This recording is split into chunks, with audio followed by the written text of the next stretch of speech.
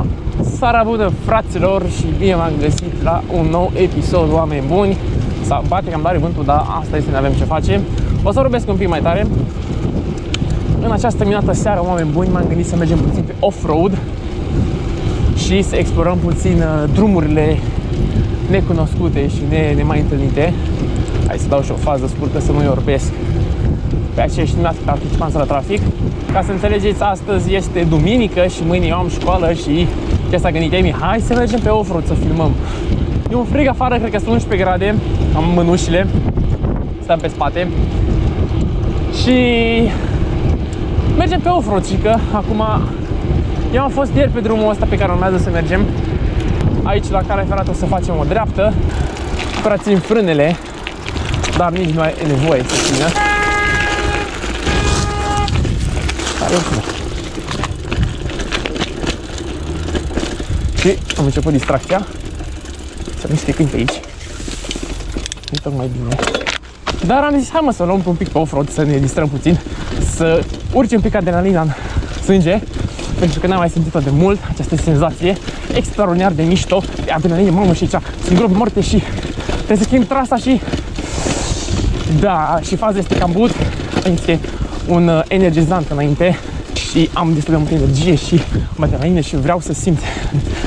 Da, ați înțeles, ați înțeles, voi nu trebuie să vă zic multe. E destul de periculos să faci off-road noaptea și nu vă recomand să faceți așa ceva.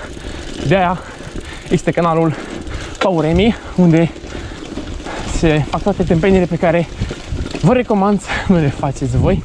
O să le fac eu, să vedeți voi cum este. Uite, atenți aici distracția de pe lume Că noroile astea nasoale rău de tot. Bun. De asta am scăpat. De asta am scăpat. Și trebuie să trecem și prin ăsta. Am trecut și prin ăsta. Doar ce am curățat lanțul la bicicleta Dar o să-l curăț din nou. Dar nu are absolut nimic. Deci ne lăsăm pe dreapta. Schimbăm trasa și Au, am luat un pic de noroi acolo. N-are nimic. Nu de absolut nimic.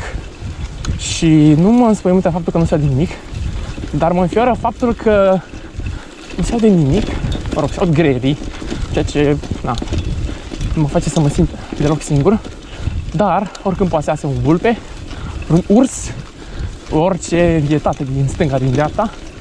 Și hai să stăm în tras aici și din nou aici ca să nu am gropile și numoalele și ghiciți ce, aici facem stânga și o să trecem calea de tren.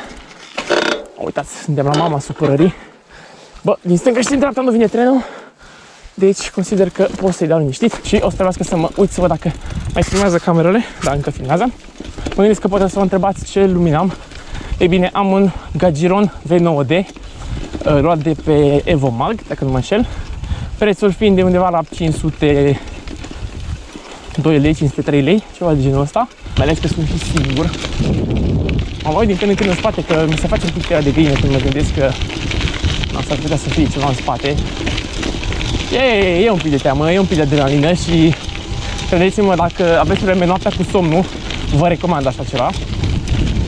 Dacă nu puteți să dormiți sau aveți insomnii sau eu mai știu ce probleme aveți. Am văzut foarte mulți post depresiv, supărat, nu știu, parcă nu merge pe dos, bă frate, ia-ți o bicicletă și du-te pe off-road, du-te dacă ți-e frică pe drum, du-te pe off-road.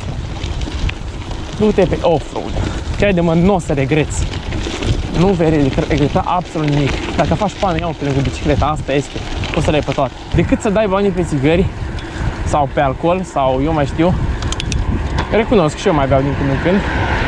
Dar uh, nu o fac la modul ăla, nu știu, beau și eu o bere. Nu știu, cu fumatul nu sunt prea de acord, adică Mă rog, nici n-am încercat să zic că nu-mi place sau așa, dar nici nu vreau să încerc sincer. Mă rog, amândouă sunt dăunătoare pentru organism consumate în exces. Majoritatea oamenilor petrec foarte mult timp, aoleu, petrec foarte mult timp în mediul online și pierd feeling-ul ăsta cu, uh, cu mediul înconjurător și că, păi fraților, hai să vă spun o chestie și o, un principiu pe care m-am bazat întotdeauna și care o să mă bazez în continuare și pe care o să-l susțin în continuare, indiferent de ce se va întâmpla, Uh, da? Eu vă zic așa, în viața asta pe care noi o trăim și o avem, dacă nu ești fericit și nu faci ceea ce îți place, credeți-mă, trăiești degeaba.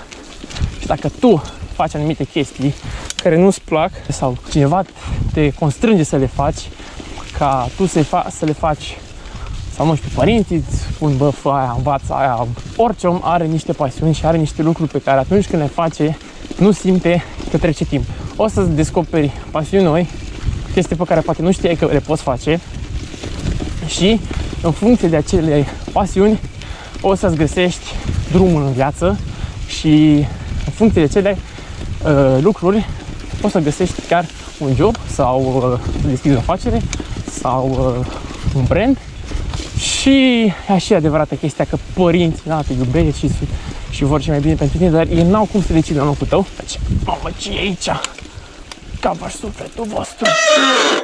Bă, dar eu sigur am luat-o bine. Am luat-o bine. Crescut aici. De când am mai fost. Să mă ferească Dumnezeu. Ei mei tot timpul mi-au zis, bă, tu învață bine. Vezi, învață bine la școală. Te examenul, intră la liceu bun. Faci o facultate, să fii primul.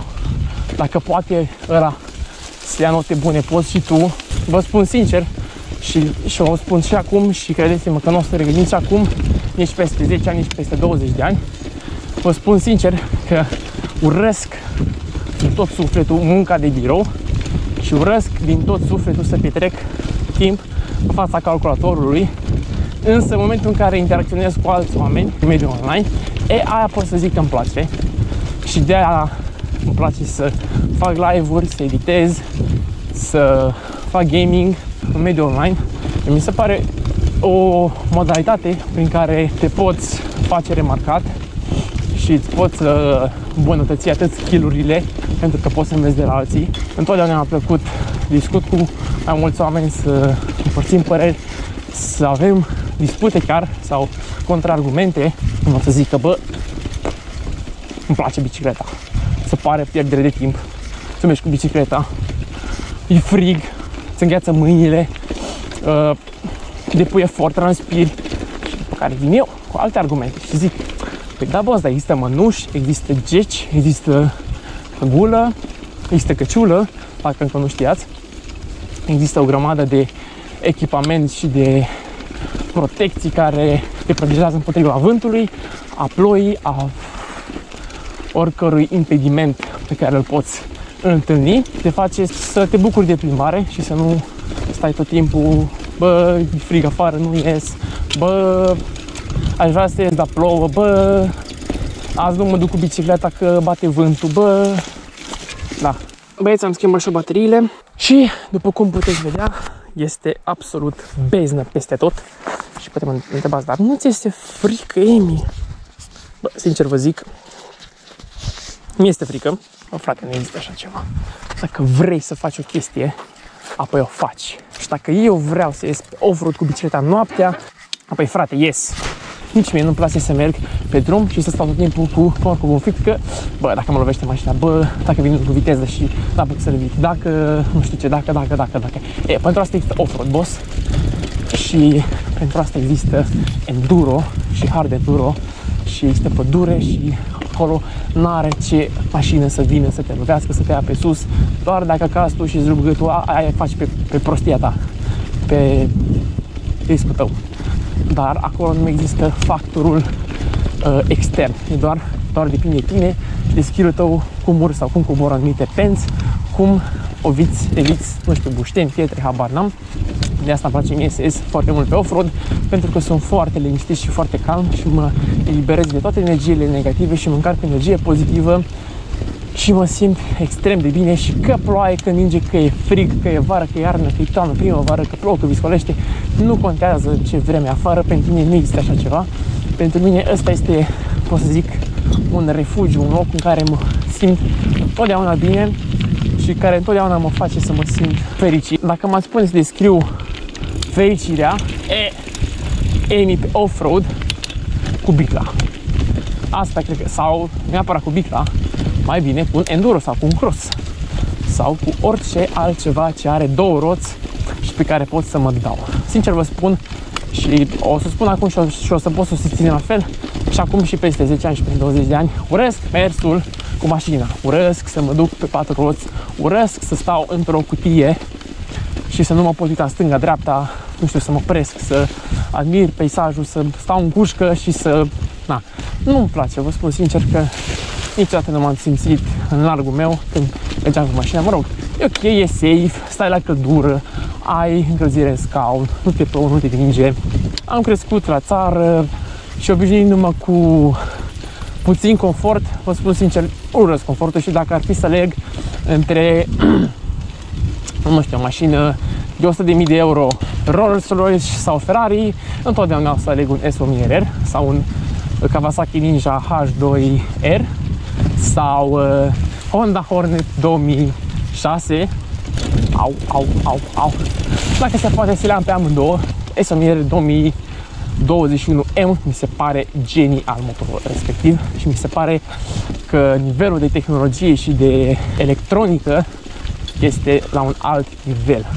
Am deci dacă sunt pe aici câini, deci dacă sunt pe aici câini, intrăm în modul S1000RR Race Pro dezactivăm toate controlele electronice și dăm forjă pe aici. Mă vedeți sărind pe aici, în sus cu două camere pe mine și cu ghiozdanul în spate și cu pesta reflectorizantă, mamă. Deci, mamă, aici e nasoală, pic, dar e ok. Bun. Nu știu ce ați înțeles voi din tot ce am filmat aici și din tot ce v-am povestit.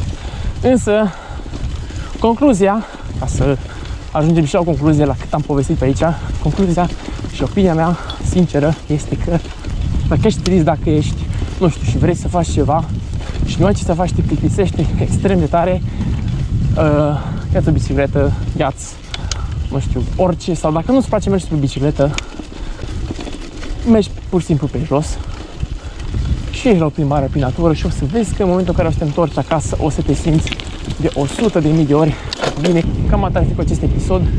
Eu am fost Emi, voi sunteți cei mai tari. Like, share, subscribe, știți de povestea și noi desigur ne vedem data viitoare. Pa, pa! 100 de mii de ori bine. Că am făcut nasoală. Hai să vedem dacă putem repara ce am stricat. Hai să vedem. Uite, cred că am reușit să repar. Am, am reușit să repar. Am dat am vrut să schimb pe viteza 0 sau minus 1 și asta nu se poate pentru că nu este așa ceva.